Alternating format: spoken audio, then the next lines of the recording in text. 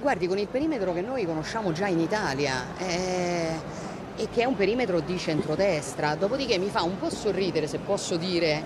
eh, questo fatto che diciamo, si veda il fatto che i partiti del centrodestra sono in famiglie politiche eh, europee diverse come un problema quando è sempre stato così. Cioè non è che quando c'era il governo il go eh, la maggioranza giallo-rossa per dire in Europa erano nella stessa famiglia europea. La dinamica delle elezioni europee è una dinamica molto più complessa, no? molto complessa e quindi si può tranquillamente far parte di famiglie eh, politiche europee differenti, governare molto bene in Italia e le dico di più, provare a governare insieme eh, eh, con, con un'Europa diversa anche, eh, a, anche, dopo le prossime elezioni europee. Io penso che l'obiettivo di tutti e il nostro obiettivo